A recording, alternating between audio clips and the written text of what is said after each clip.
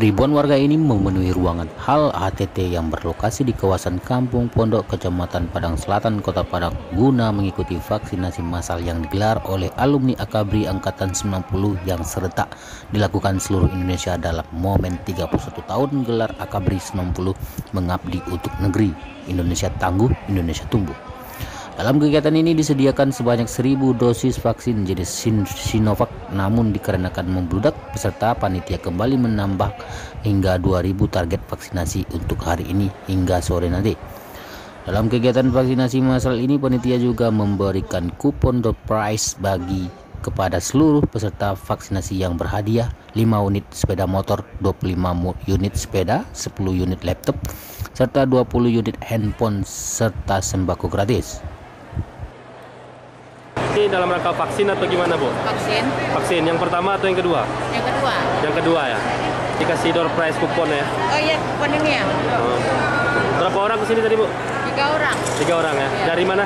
Dari Pasar Ambacang. Pasar Macang.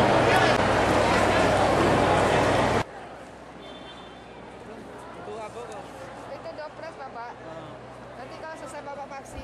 Diharapkan vaksinasi massal ini dapat menggenjot dan memenuhi 70% target vaksinasi di Kota Padang setelah sebelumnya di Kota Padang sempat berada pada PPKM level 4.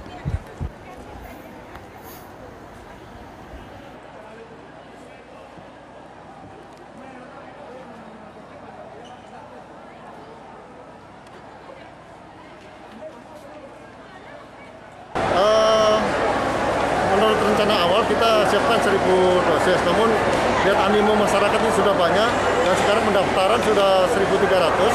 Tentunya ini masih kita gelar sampai sore. Target kita berapa kan? Eh, kalau melihat dari animo ini mungkin kita sampai siap sampai 2000 lah. 2000 Iya. uh, ya. Ini kita juga menyediakan hadiah untuk masyarakat atau gimana nah? Jadi kebetulan hari ini ada kegiatan dari Angkatan 90 digelar di HTT.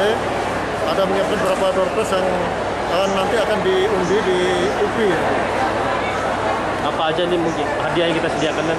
Hadiah yang disediakan oleh Angkatan 90 ada sepeda motor, terus ada beberapa sepeda, laptop, dan handphone.